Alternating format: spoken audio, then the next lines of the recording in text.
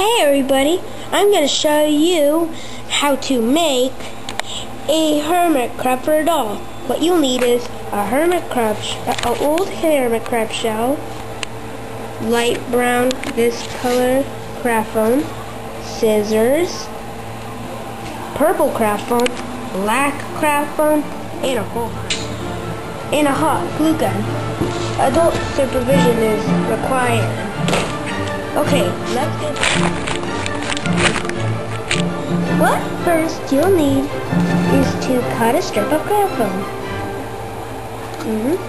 Depending on how long you want your hermit crab's legs to be, cut it to the size you need. Now get it. Now it may be too little long, so you'll need to cut it down. Now add a dab of hot glue dab and place it inside.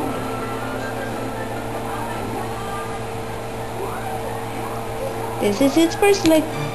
Now if you want to make a claw, what you need to do is start doing a straight line and then kind of go off, off a little and to form the claw it. It may not turn out perfect, but at least it it's not going to be flawless. Now to make it look a little realistic, just cut like a small like oval or just a small bit of purple crackle. This is good. And then get that claw and put a little bit of purple because real hermit crabs have purple and I'll show you my brother's hermit crabs if he says yes. You might want to hold it. You might want to, hold it.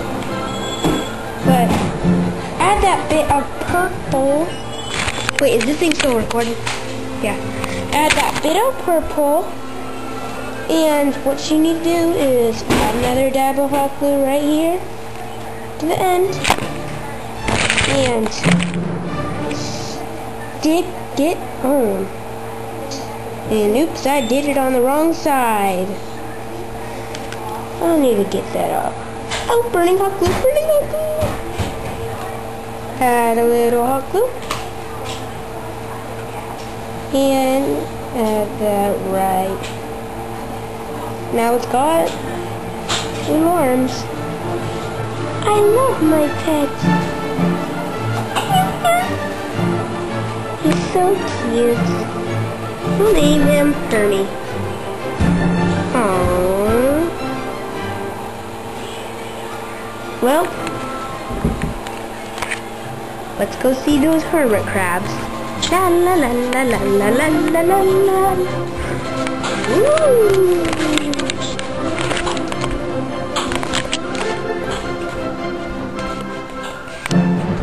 These are the hermit crabs.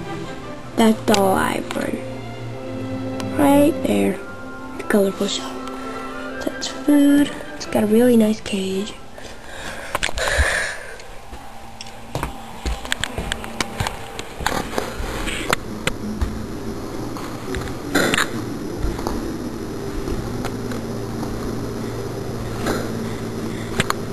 Thanks for watching.